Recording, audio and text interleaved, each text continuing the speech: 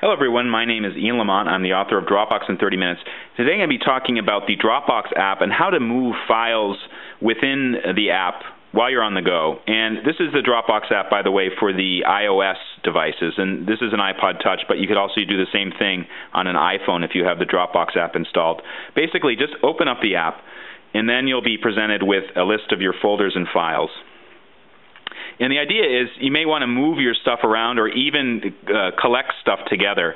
So in this case, you can see I have all these folders on my, in my Dropbox account, but then I have a file here. I don't remember how, how it got there, but I just don't want it to be standing there on its own. I actually want to put it in the folder. So let's say that I want to put it into this folder, 15.18 pricing or another one. You just you just um, see this little check mark up here in a circle. Tap that, and you'll see all these little uh, circles appear next to all the files and folders. Check the circle next to the file that you want to move, and then you'll have two options, delete and move. Don't hit delete, hit move.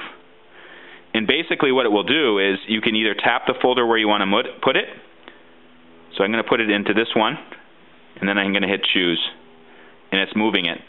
Now it's back at the top level Dropbox, uh, uh, my top level Dropbox account, and you can see it's gone. It used to be right there, now it's gone, and it's actually moved into this into this particular folder. There it is right there. So for more tips on how to use the Dropbox app, either on your mobile device or on your desktop, uh, please visit uh, dropbox.in30minutes.com. You can uh, see more videos. You can also buy the guide, which is really packed with information on how to get the most out of Dropbox. My name is Ian Lamont, and thanks for watching.